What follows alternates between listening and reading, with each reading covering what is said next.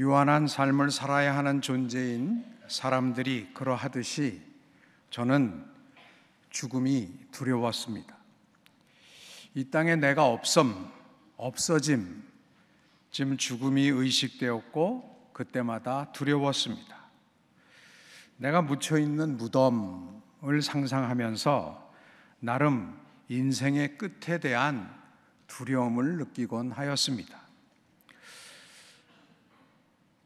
죽음이 우리의 마지막이라면 과연 공부를 하는 것이 또 나름 열심히 사는 것이 또 착하게 사는 것이 무슨 의미가 있는가 생각할 때마다 인생의 허무함을 느끼곤 하였습니다.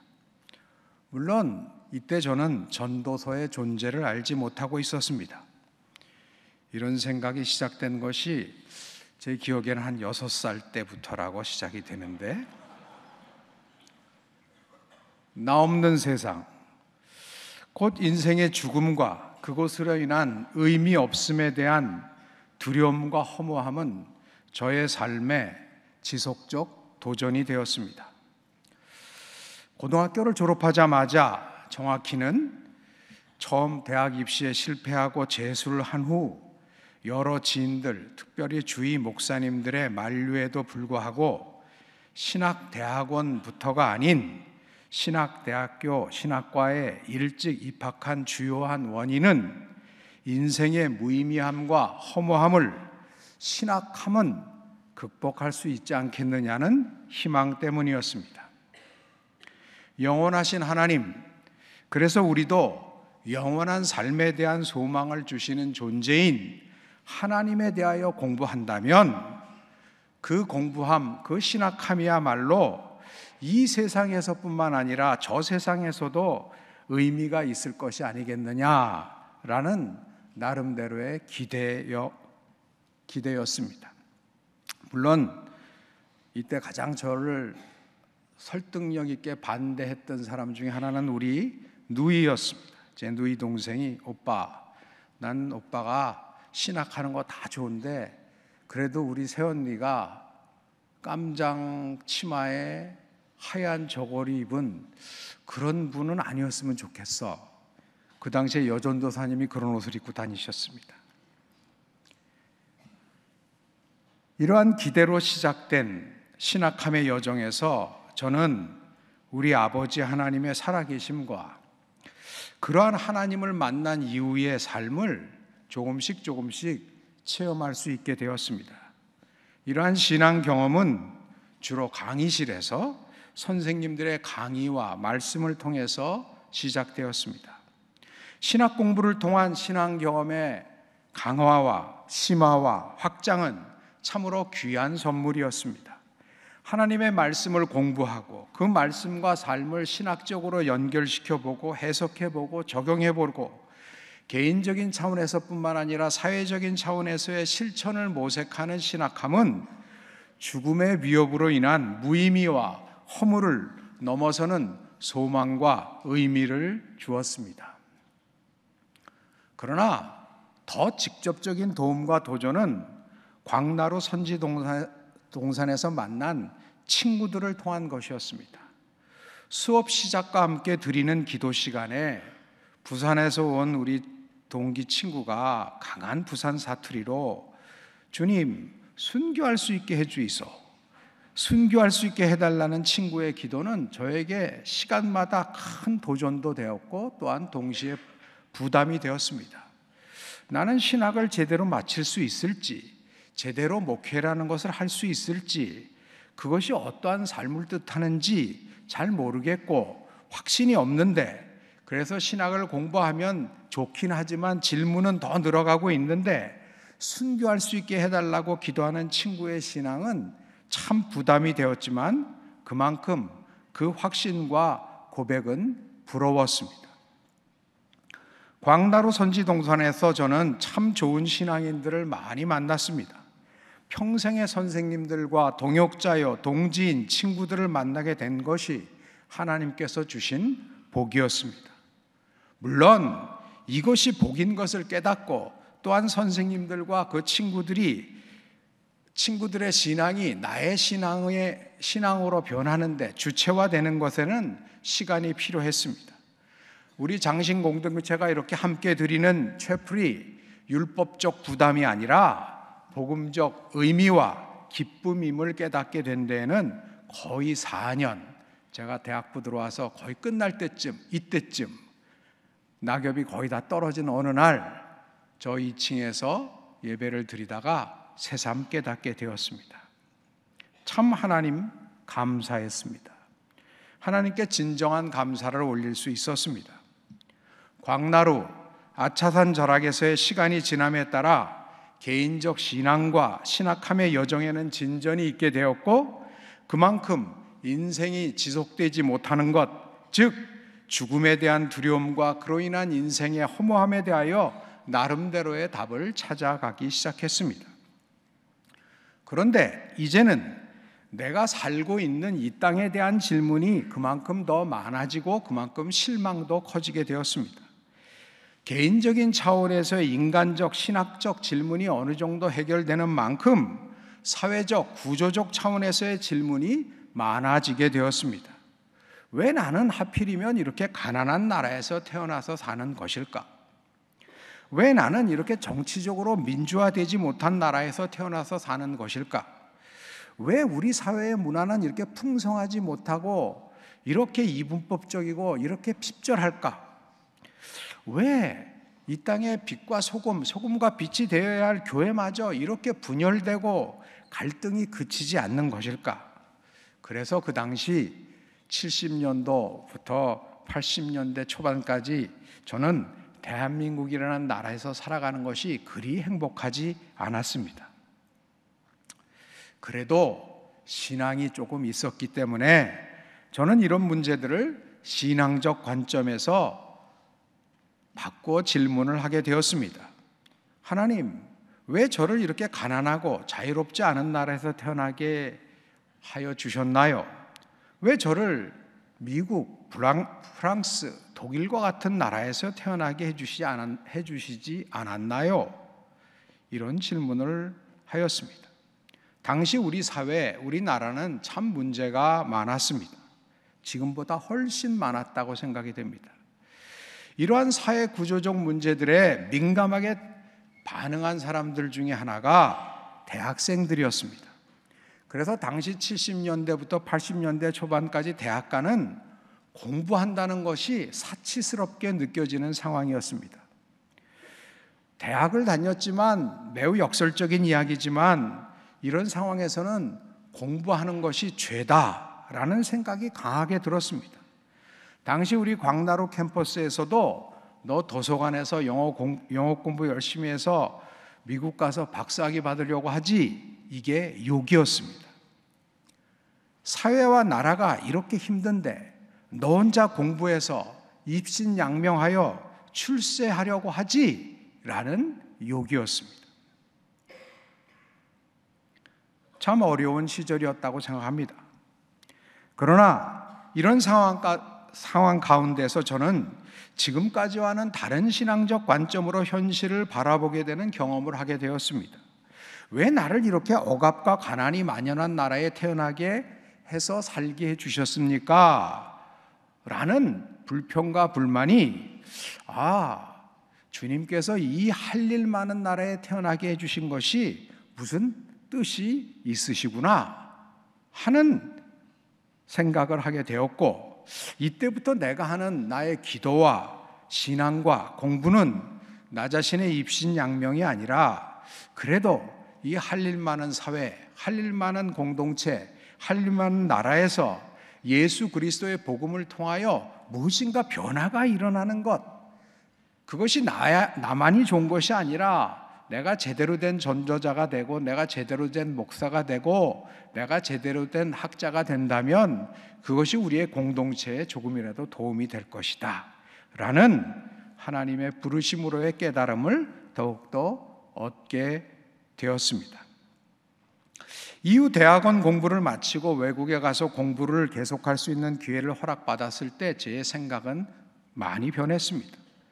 우리보다 매우 안정된 사회에 자리 잡은 신학교의 환경을 접하게 되니까 이제는 예전에 조금만 전에도 공부하는 것이 죄 같았는데 이제는 이런 환경에서는 공부를 안 하는 것이 죄다라는 생각이 들게 되었습니다. 물론 공부가 인생의 전부가 아니고 하나님 부르심의 전부는 아닐 것입니다. 그러나 우리와 같은 신학도들에게 기독교 교육학도들에게 교회 음악도들에게 공부는 하나님 나라를 위한 부르심에 대한 응답의 기본입니다. 첫 출발입니다. 매우 중요한 요소입니다. 하나님 나라를 위한 응답은 개인적 차원에서의 응답과 결단도 매우 매우 중요하지만 나라의 정치, 경제, 사회, 문화적 환경과 교회 상황, 즉 거시적인 구조와 환경도 그래서 내가 공부하는 신학교의 조건과 환경도 매우 크게 영향을 미치게 됩니다. 제가 교수로서 또한 행정의 책임자로 섬기며 꿈꾼 것들 중 하나는 적어도 우리 학교는 공부 안 하면 죄라는 마음이 들 것 같은 그러한 공부에 적합한 환경을 조성하는 것이었습니다.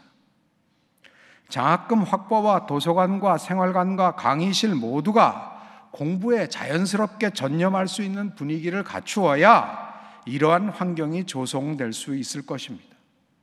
우리 학교는 이런 학교가 되었으면 좋겠다는 꿈은 지금도 지속되는 우리의 꿈입니다.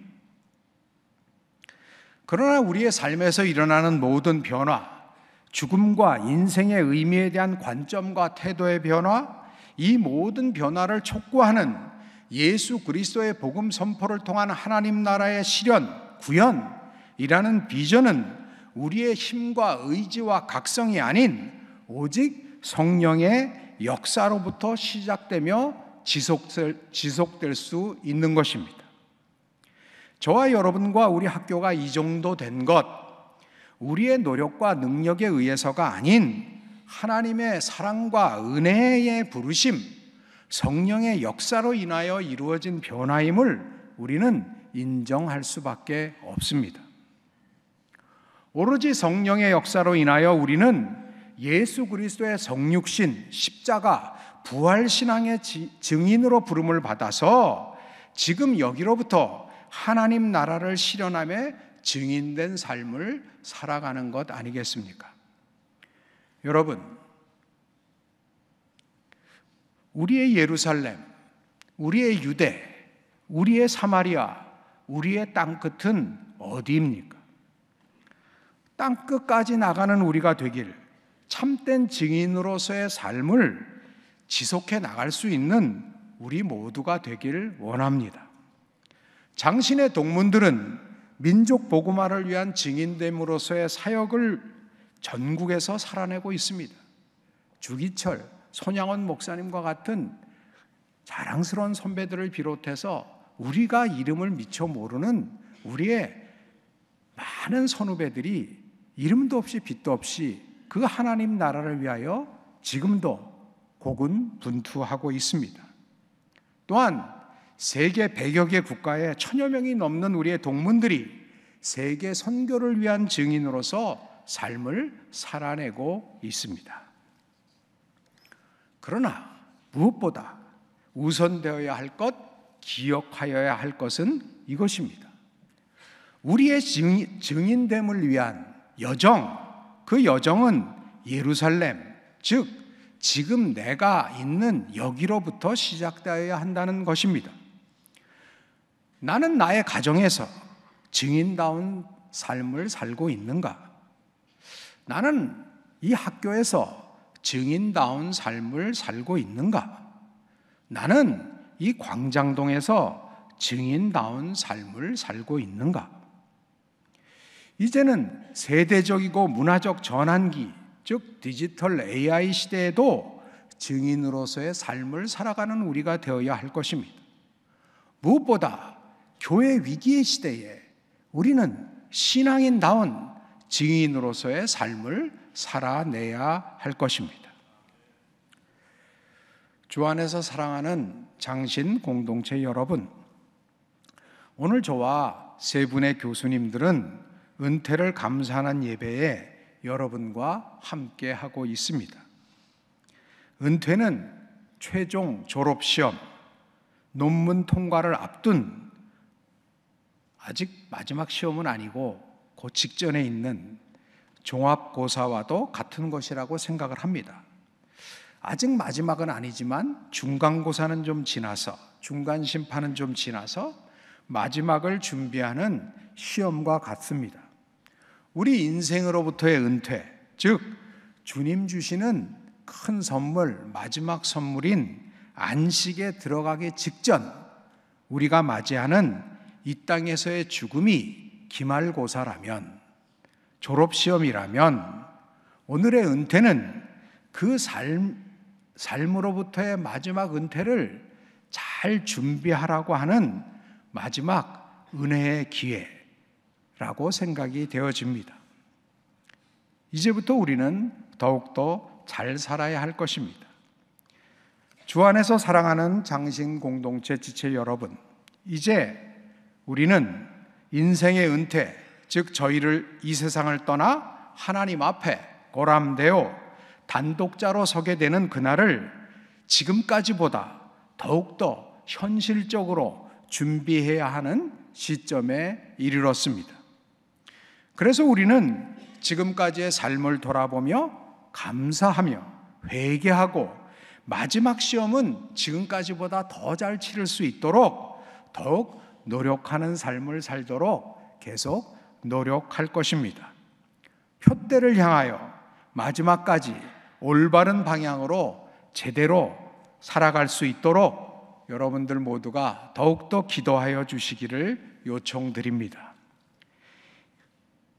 이제 저희들은 더욱 마음을 모아 우리 장로의 신학대학이 하나님 나라의 증인됨을 위하여 부르심을 받은 신학교답게 위기의 한국 교회와 사회의 희망으로 우뚝 서 나가기를 희망합니다. 그것을 위하여 기도할 것입니다.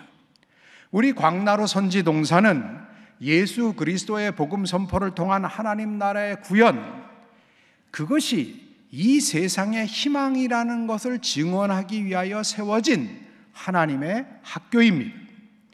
따라서 우리 학교는 그 복음을 삶으로 체화할 수 있도록 영적 역량을 갖추기 위해 위한 경건의 훈련, 세상과 교회에 그 복음을 아주 편만하게 소통할 수 있는 역량을 갖출 수 있기, 있기 위해서 학문의 연마, 또한 그 복음을 개인적, 사회적 삶으로 살아내어 하나님의 나라에 우리부터 참여하는 복음의 실천, 이것이 준비되고 실행되는 신학교로 더욱더 확실히 서나가야 할 것입니다. 개인적 삶의 의미, 개인적 삶의 질도 중요하지만 그것보다 더욱더 우선되는 그래서 결국은 개인적 삶의 삶과 의미도 더욱더 중요하게 만들어 주시는 하나님 나라와 의가 우리의 삶으로 드러나는 장신 공동체, 나의 가정과 생활관과 강의실과 광장동에서 증인된 삶을 살아내는 장신 공동체, 민족 복음화와 세계 선교의 현장에서 증인된 삶을 살아내는 장신 공동체. 그래서 위기에 처한 한국 교회와 사회의 희망이 되는 그런 신학교 우리는 지금도 꿈꿉니다. 이런 신학교를 성령의 능력에 힘입어 하나님 나라의 증인되는 신학교, 장로의 신학대학교. 지금부터 우리의 삶의 자리는 달라질지라도 우리의 꿈은 지속될 것입니다. 우리의 기도는 계속될 것입니다. 이런 신학교 함께 이루어가는 저와 여러분 되기를 간절히 소망합니다. 하나님 감사합니다. 주께서 우리를 이렇게 좋은 학교로 불러주셔서 함께 지내게 하여 주셨던 것, 그 추억을 기억하며 더욱더 위하여 기도하는 우리들, 또 우리 학교 하나님 보시기에 더욱더 쓰임새 있는 하나님의 신학교 그런 신학교 되도록 주여 붙들어 주시옵소서. 우리 주 예수 그리스도 이름으로 기도드립니다. 아멘.